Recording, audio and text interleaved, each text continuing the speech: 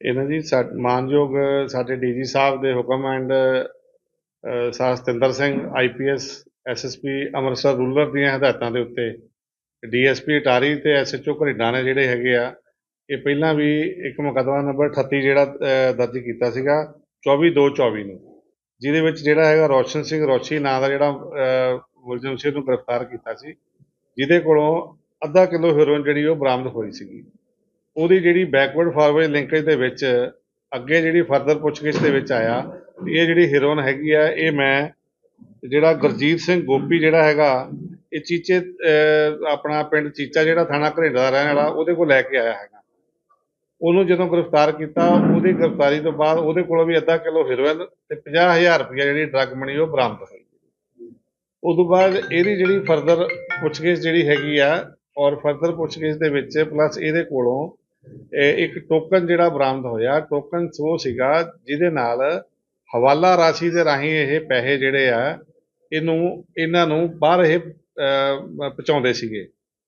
Token ਦੇ ਉੱਤੇ ਜਦੋਂ ਇਹਨੂੰ ਪ- ਪੁੱਛਗਿੱਛ ਕੀਤੀ ਗਈ ਫਰਦਰ ਪੁੱਛਗਿੱਛ ਦੇ ਵਿੱਚ ਇਹ ਚੀਜ਼ ਸਾਹਮਣੇ ਆਈ ਵੀ ਜਿਹੜੇ ਹਵਾਲੇ ਰਾਹੀਂ ਜਿਹੜੇ ਪੈਸੇ ਹੈਗੇ ਆ, ਇਹ ਇਹ ਜਿਹੜਾ ਅਸੀਂ ਹੁਣ ਦੋਸ਼ੀ ਗ੍ਰਿਫਤਾਰ ਕੀਤਾ, ਜਿਹੜਾ ਤੁਹਾਡੇ ਸਾਹਮਣੇ ਇੱਥੇ ਅਸੀਂ ਪੇਸ਼ ਕੀਤਾ ਹੈਗਾ ਇਹ ਰਮਨ ਕੁਮਾਰ ਪੁੱਤਰ, ਰਮੇਸ਼ ਕੁਮਾਰ ਜਿਹੜਾ ਹੈ ਇਹ ਨਮਕ ਮੰਡੀ ਦਾ ਰਹਿਣ ਵਾਲਾ, ਕਰਿਆਨੇ ਦੀ ਦੁਕਾਨ ਕਰਦਾ ਹੈ ਮਜੀਦ ਮੰਡੀ ਦੇ ਵਿੱਚ ਤੇ ਉਹਦੇ ਆੜ ਦੇ ਵਿੱਚ ਨਾਲ ਇਹ ਹਵਾਲੇ ਦਾ ਕੰਮ ਕਰਦਾ ਹੈਗਾ।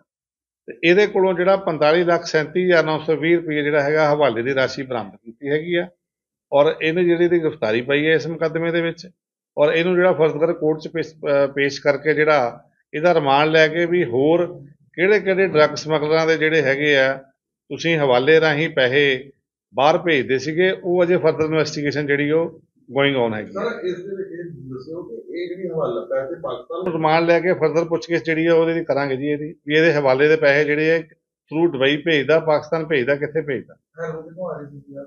ਹਾਂਜੀ? ਹੈਰੋਨ ਕਿੱਥੋਂ ਆ ਰਹੀ ਸੀ? ਹੈਰੋਇਨ ਤਾਂ ਜਿਹੜੀ ਪਹਿਲਾਂ ਬੰਦੇ ਫੜੇ ਹੋਏ ਆ ਨਾ ਜੀ ਉਹ ਤਾਂ ਹੈਰੋਇਨ ਜਿਹੜੀ ਆ ਬਾਏ ਉੱਥੇ ਪਾਰੋਂ ਹੀ ਆਈ ਹੈ ਜੀ। ਜੀ। ਜਿਹੜਾ ਇਹਨਾਂ ਦੁਕਾਨਾਂ ਹੈ ਕੀ ਕੰਮ ਕਰਦਾ ਸੀ? ਆਪਣਾ ਕੀਤੇ ਨੇ ਨਹੀਂ ਉਹ ਤਾਂ ਕਾਂ ਫਰਦਰ ਇਨਵੈਸਟੀਗੇਸ਼ਨ ਦਾ ਹਿੱਸਾ ਨਾ ਜੀ। ਵੀ ਦੁਕਾਨ ਕਰਿਆਨੇ ਦੀ ਦੁਕਾਨ ਦੇ ਆੜ ਦੇ ਵਿੱਚ ਕਰਦਾ ਸੀਗਾ।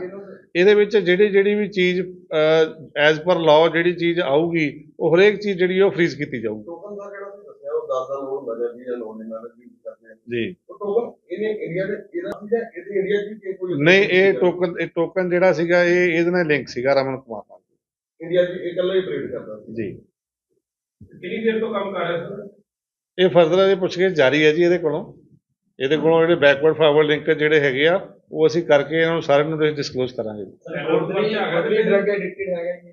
ਸੌਰੀ ਇਹ ਖੁਦ ਡਰਗਸ ਲੈਂਦਾ ਹੈ ਜਾਂ ਕੋਈ ਨਸ਼ੇ ਦੀ ਆੜ ਦੇ ਵਿੱਚ ਹੈਗਾ ਨਹੀਂ ਇਦਾਂ ਦੀ ਗੱਲ ਕੋਈ ਸਾਹਮਣੇ ਨਹੀਂ ਆਈ ਅਜੇ ਪੁਰਾਣਾ ਕੋਈ ਪਰਚਾ ਦੇ ਦੇ ਨਹੀਂ ਅਜੇ ਕੋਈ ਨਹੀਂ ਰਮਨ ਕੁਮਾਰ ਤੇ ਕੋਈ। ਐਮਪੀਐਸਸੀ ਮਾਮਲੇ ਤੋਂ ਹੈ ਨਾ ਸਰ? ਹਾਂਜੀ ਹਾਂਜੀ ਬਿਲਕੁਲ ਜੀ। ਰਿਪੋਰਟ ਤੇ ਕੋਰਟ 'ਚ ਪੇਸ਼ ਅੱਜ ਕਰ ਰਹੇ ਹਾਂ ਜੀ।